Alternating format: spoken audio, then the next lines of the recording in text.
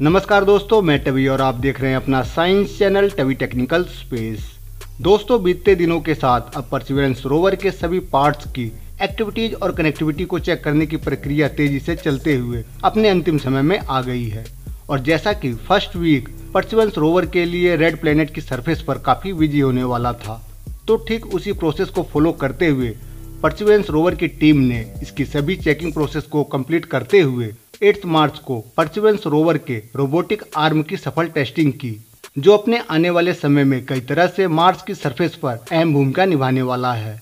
दोस्तों परसिवेंस रोवर का यह seven foot long robotic arm कई फीचर से लेस है। और आपको बता दूँ तो यह रोबोटिक आर्म अपने मैक्सिमम फ्लेक्सिबिलिटी के साथ मार्स के सरफेस पर 27 एम mm डायमीटर का होल करने में कैपेबल है।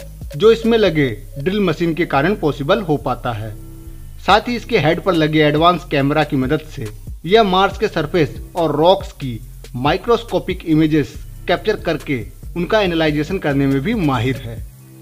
दोस्तों, अगर इस रोबोटिक आर्म के मेन फ़ंक्शन की बात की जाए तो इसका मेन वर्क मार्स के सरफेस की सैंपल कलेक्ट करना और उनका इन्वेस्टिगेशन करना है।